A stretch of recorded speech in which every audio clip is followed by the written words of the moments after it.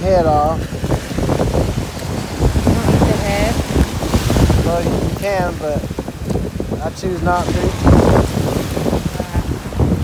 Because head is the best. Frying pan. Frying pan's not big enough. The one we have is not big enough. Okay.